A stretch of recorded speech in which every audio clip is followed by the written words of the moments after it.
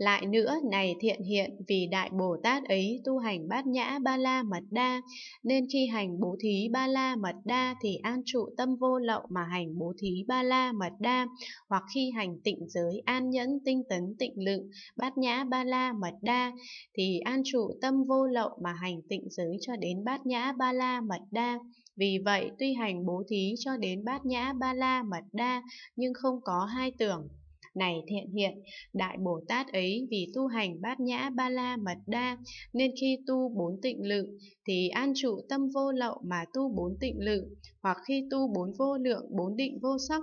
thì an trụ tâm vô lậu mà tu bốn vô lượng, bốn định vô sắc. Vì vậy, tuy tu bốn tịnh lự, bốn vô lượng, bốn định vô sắc, nhưng không có hai tưởng. Này thiện hiện, Đại Bồ Tát ấy vì tu hành bát nhã ba la mật đa nên khi tu bốn niệm trụ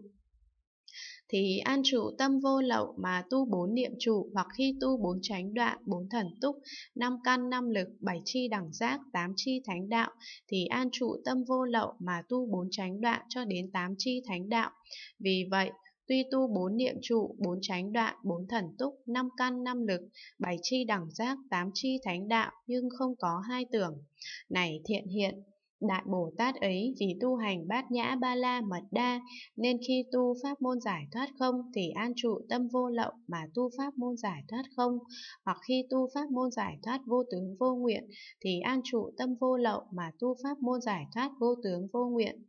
Vì vậy, tuy tu pháp môn giải thoát không vô tướng vô nguyện nhưng không có hai tưởng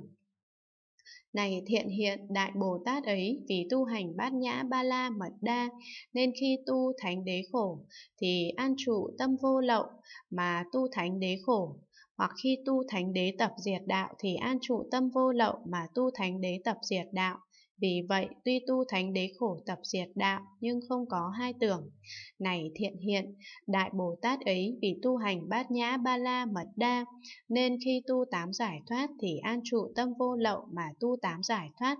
hoặc khi tu tám tháng xứ chín định thứ đại, mười biến xứ thì an trụ tâm vô lậu mà tu tám tháng xứ chín định thứ đại, mười biến xứ. Vì vậy, tuy tu tám giải thoát tám tháng xứ chín định thứ đại, mười biến xứ nhưng không có hai tưởng. Này thiện hiện Đại Bồ Tát ấy, vì tu hành bát nhã ba la mật đa nên khi tu tất cả pháp môn tam ma địa thì an trụ tâm vô lậu mà tu tất cả pháp môn tam ma địa hoặc khi tu tất cả pháp môn đà la ni thì an trụ tâm vô lậu mà tu tất cả pháp môn đà la ni. Vì vậy tuy tu tất cả pháp môn đà la ni, pháp môn tam ma địa nhưng không có hai tưởng. Hết quyển thứ 375